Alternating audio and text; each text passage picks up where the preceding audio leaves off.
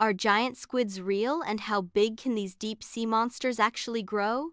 For centuries, sailors spoke of tentacled monsters dragging ships beneath the waves.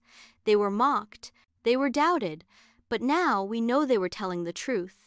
Giant squids are not a myth.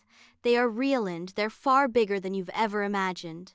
The giant squid, Architeuthis dux, is one of the most elusive and mysterious creatures in the ocean. It lives deep below the surface, so deep that sunlight never reaches its world. For centuries, it was believed to be just a legend.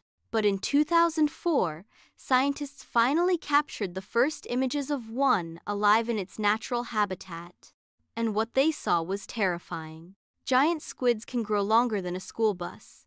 The largest ever found measured nearly 43 feet from tip to tentacle. That's more than 13 meters of muscle, suckers, and sharp parrot like beaks.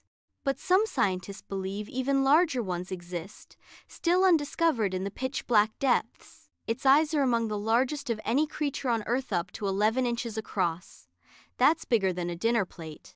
These enormous eyes help them detect even the faintest light in the deep sea, like the glow of bioluminescent prey or predators. Giant squids have eight arms and two extra long feeding tentacles, lined with suction cups armed with tiny, razor sharp teeth. These aren't slow creatures either.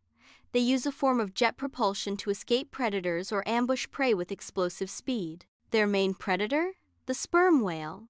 Scars found on the bodies of whales suggest epic, violent battles deep beneath the waves. Imagine a whale the size of a school bus fighting a squid of equal length in total darkness. Even today, we've only seen giant squids a handful of times alive. Most are discovered dead, washed up on beaches, or pulled up accidentally by deep sea trawlers. We still don't know how they mate, how long they live, or how many are out there. Giant squids are not fiction.